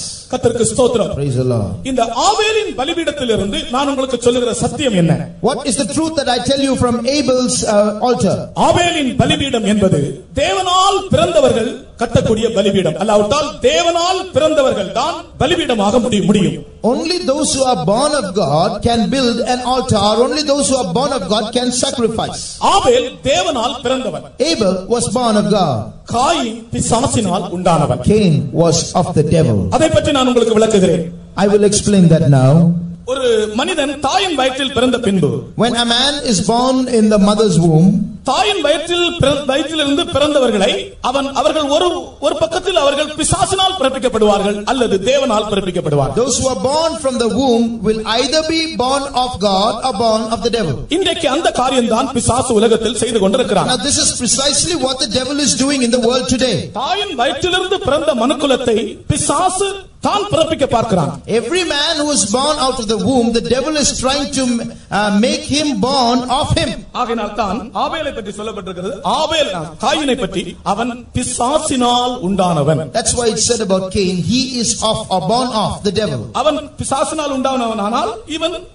தேவனால் உண்டானவன் என்பது வெளிப்படும் From which we infer that Abel was born of God. கர்த்தருக்கு ஸ்தோத்திரம் Praise the Lord. இப்ப தேவனால் உண்டானவன் என்றால் தேவனால் பிறந்தவன் He that is of God means he that is born of God. ஆபேலின் பலிபீடம் என்பது தேவனால் பிறந்தவர்கள் தான் பலிபீடமாக முடியும் என்பதை காண்பிக்கிறது Abel's altar shows that only those who are born of God can uh, become an altar.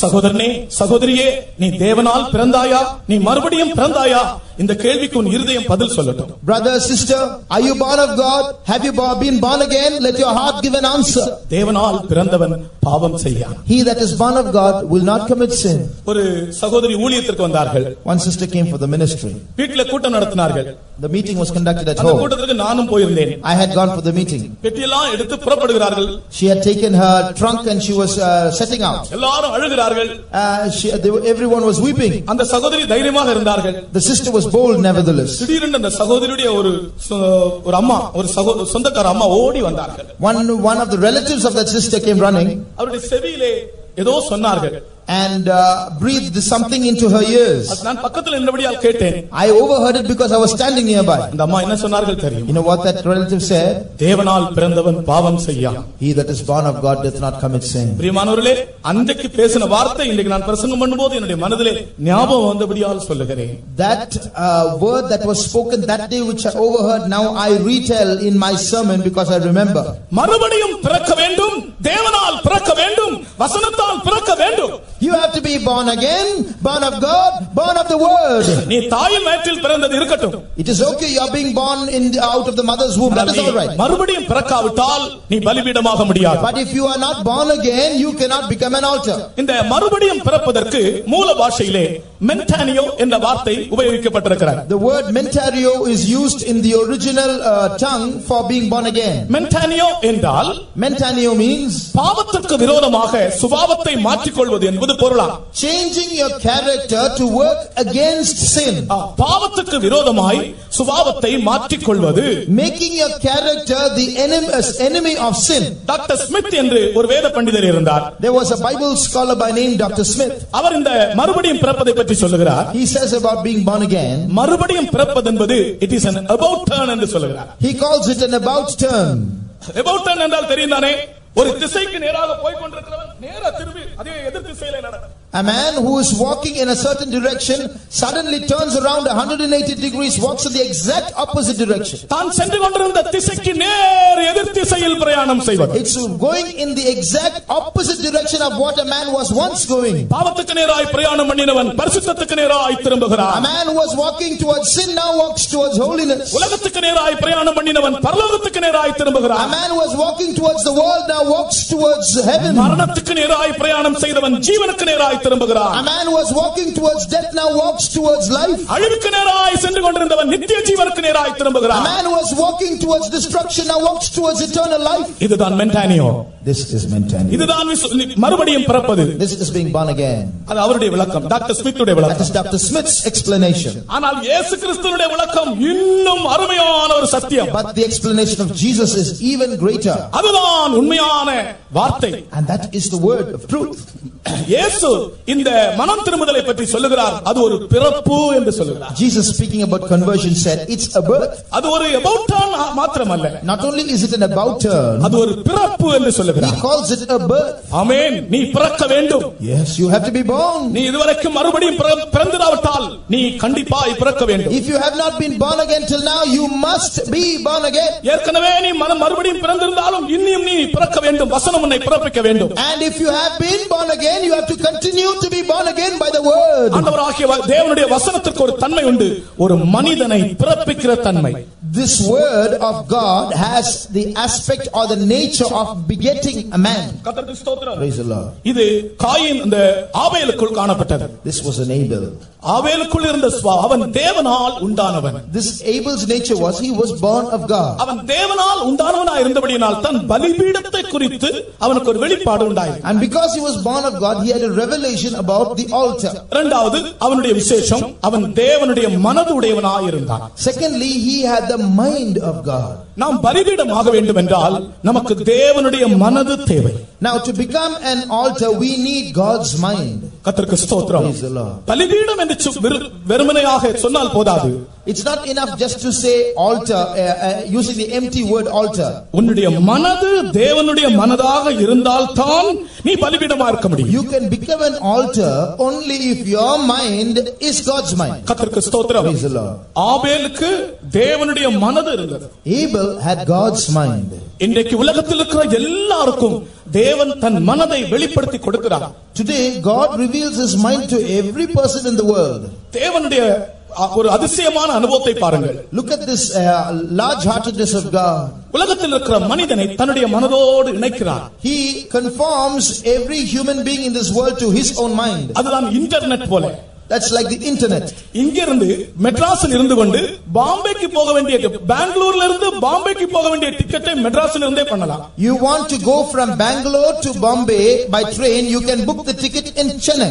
சென்னையில் இருக்கிறதான கம்ப்யூட்டர் ப- பெங்களூர்ல இருந்து பாம்பேக்கு போகிறதான டிக்கெட்டை சரியான விவரத்தை தெரிவிக்கும் The uh, uh, computer at Chennai will give you the perfect, accurate details of the availability of tickets to board a train from Bangalore to Bombay.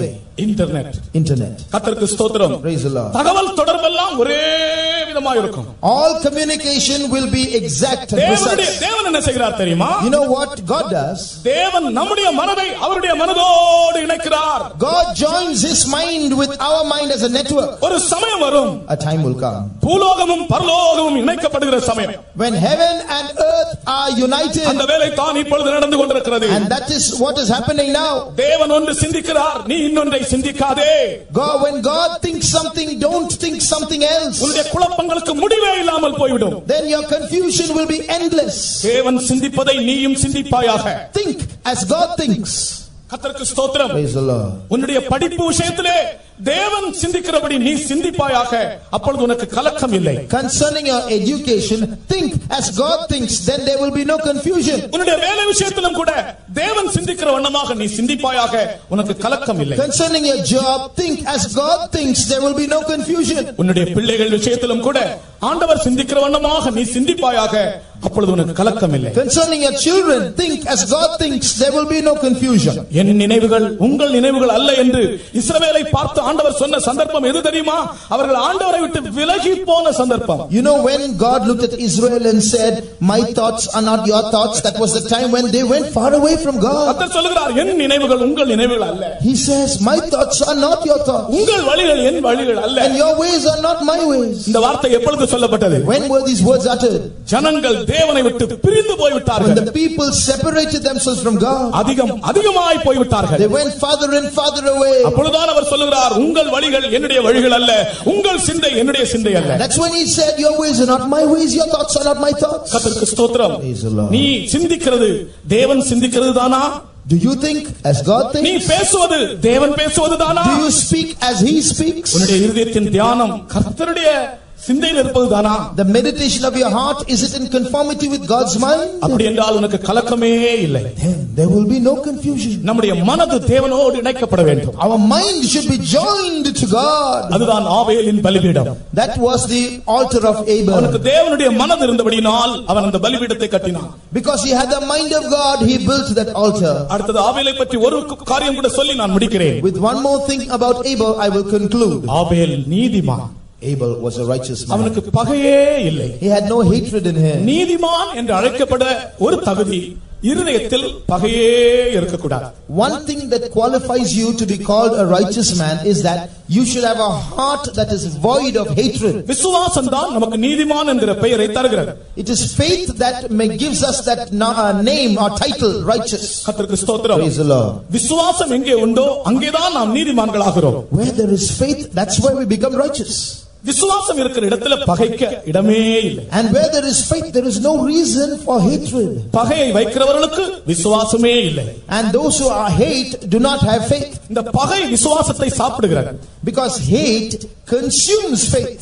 விசுவாசம் பகையை சாப்பிடுகிறது And faith consumes hate. கர்த்தருக்கு ஸ்தோத்திரம் Praise the Lord. உன்னுடைய இருதயத்தில் யாரை குறித்தாலும் ஒரு சிறு துக்கமோ பகையோ நீ வைத்திருந்தால் இந்த பலிபீடம் நீ கட்ட முடியாது If there is some kind of bitterness or hatred against anyone in your heart, you cannot build up this uh, altar. அவேலின் பலிபீடம் நீதிமான்களின் பலிபீடம் அல்லது இருதயத்தில் பகை இல்லாதவர்கள் கட்டுகிற பலிபீடம் The altar of Abel is the altar of the righteous or an altar built by those who do not have hatred in their hearts. ஒரு நிமிடம் உங்களுடைய கண்களை மூடுங்க Shall we close our eyes for a moment? உங்களுடைய இருதயத்தை கர்த்தரண்டை திருப்புங்கள் Turn your hearts to the Lord. உங்களுடைய இருதயத்தை கர்த்தருக்கு நேராக்குங்கள் Turn your hearts, focus it towards God. பகையை நீங்கள் உங்களுடைய இருதயத்திலிருந்து அகற்றி விடுங்கள் Remove hatred from your hearts. தேவ அன்பினால் உங்கள் இருதயம் நிரம்பட்டும் Let your hearts be filled with the love of God. கர்த்தர் என்ன சொல்லுகிறாரோ அது உங்களுடைய இருதயம் சொல்லட்டும் Let your heart say what God says. ஒரு நிமிஷம் உங்களுடைய கண்களை மூடுங்க Close your eyes for a minute. தேவனுடைய அசைவாடுதலை நீங்கள் இப்பொழுதே காண போகிறீர்கள் You're going to see God moving in this place. எங்கே பலிபீடம் உண்டோ அங்கே நிச்சயமாய் ஒரு அக்னி உண்டு Where there is an altar, there is surely a fire. அந்த ஆபேலுடைய பலிபீடத்தில் பாருங்கள் அக்னி எல்லாரும் கண் திறந்து பாருங்க ஒரு தடவை அந்த Open your ஆபேலுடைய- eyes. ஆபேலுடைய பலிபீடத்தில் அக்னி எரிகிறதை பாருங்கள் Open your eyes for a moment and see the fire burning in Abel's altar. இந்த அக்னி உங்களுடைய இருதயத்தில் இப்பொழுது எரிய போகிறார் That fire is going to burn in your heart now. ஆமென் ஒரு சில நி- வினாடிகள் நீங்கள் கர்த்தருக்கு ஸ்தோத்திரம் செய்து அவரை மகிமைப்படுத்திக் கொண்டே இருங்க For a few moments now, just uh, keep on praising O, God. ஒரு பெரிய சக்தி உங்கள் மேல் இறங்குவதை நீங்கள் You're காணப்போகிறீர்கள் going to see a great power descending upon you. பலிபீடம் தேவன் சந்திக்கிற இடம் Altar, a place of God's visitation. சகோதரனே கர்த்தர் உன்னை சந்திக்க இப்பொழுது வந்திருக்கிறார் Brother, God has come to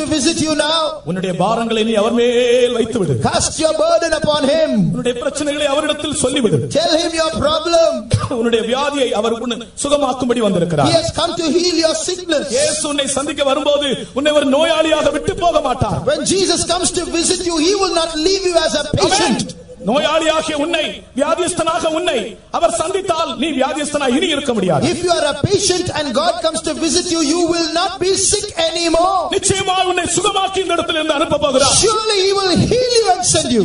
எல்லாரும் ஒரு நிமிஷம் முழங்கால் இருப்போம் One minute shall we all stand on our knees. ஆண்டவருடைய வல்லமை இறங்குறதை நீங்கள் காண போகிறீர்கள் You're going to see God's power descending. தேவனுடைய அக்னி நீங்கள் உங்களுக்குள்ளே இறங்குவதை இப்பொழுதே நீங்கள் அனுபவிக்கிறீர்கள் You're going to experience God's fire descending on you. சகோதரனே நீ பயப்படாதே Do not fear, oh brother. இந்த வேத பாடங்கள் உன்னுடைய வாழ்க்கையை மாற்றும்படி ஆண்டவர் உனக்கு தந்திருக்கிறார் These are the Bible studies that God has given you to change you. ஆமென் நான் ஆண்டவர் என்னை சந்திக்கிற ஒரு பலிபீடமாக நான் மாறப்போகிறேன் என்று சொல் Say, I am going to become an altar, a place of visitation by ஆண்டவரை God. பிரஸ்தாபப்படுத்துகிற ஒரு இடமாய் நான் மாறப்போகிறேன் going, என்று சொல் I'm going to become a place which declares God's name. உன்னுடைய வாயினாலே அவரை தாராளமாய் நீ மகிமைப்படுத்து E- Exalt Him abundantly with your mouth. என் ஆத்துமாவே கத்தரை ஸ்தோத்தரி Bless the Lord, O my soul. என் முழு உளமே அவருடைய பரிசுத்த நாமத்தை ஸ்தோத்தரி All that is within me, bless His holy N name. ஆத்துமாவே கத்தரை ஸ்தோத்தரி Bless the Lord, O my soul. அவர் செய்த சகல உபகாரங்களை நீ மறவாதே And forget not all His benefits. அவர் உன் அக்கிரமங்களை எல்லாம் மன்னித்தார் Who forgiveth all thine iniquities. உன் நோய்களை எல்லாம்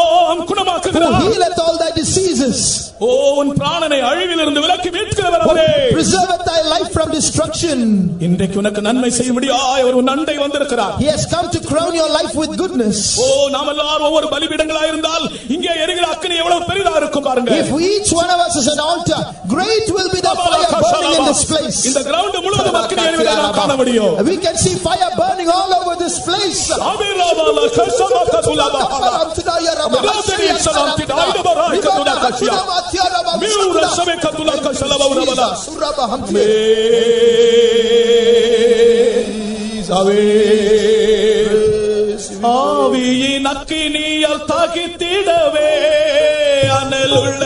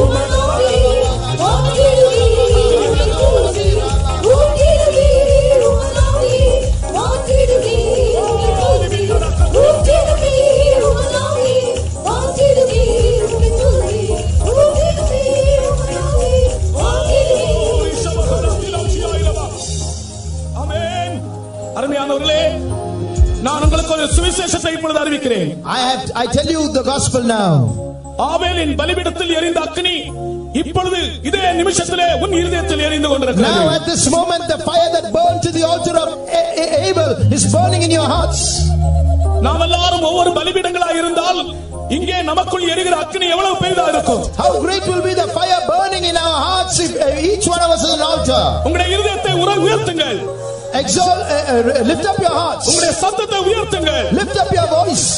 ஆண்டவருடைய அக்னி நம்மை பற்றி பிடிக்கட்டும் Then the fire will burn. சத்துருவின் வல்லமைகள் The நிர்மூலமாக்கப்படட்டும் powers of the adversary will be destroyed. சத்துருவின் வல்லமைகள் சாம்பலாக்கப்படட்டும் It will become ashes. மாம்சத்தின் வல்லமைகள் The சாம்பலாக்கப்படட்டும் powers of the flesh will become ashes. ஆமென் இயேசு நம்முடைய மத்தியிலே வந்திருக்கிறார் Jesus is in our midst. பரிசுத்த ஆவியானவர் அக்னியா இறங்கி The கொண்டிருக்கிறார் Holy Spirit is descending as fire in our midst. நாங்கள் திரும்பவும் இந்த கோரஸை ஒரு தடவை பாடுகிறோம் We are going to sing this chorus again.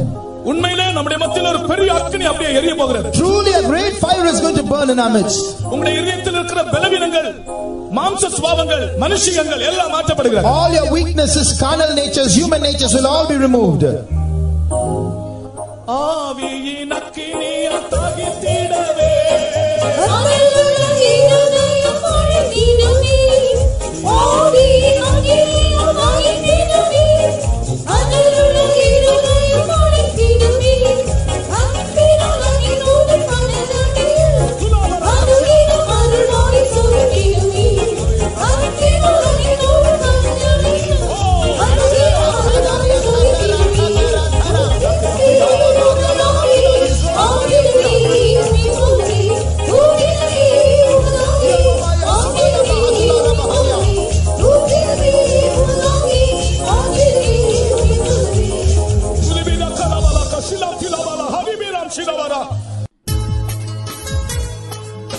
ദൈവത്തിന് മഹത്വം.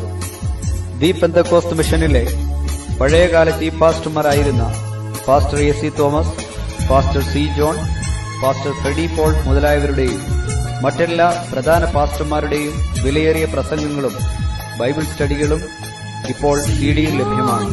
കൂടാതെ വിവിധ ഭാഷകളിലുള്ള പാട്ടുകളടങ്ങിയ സി ഡികളും ലഭിക്കപ്പെടും.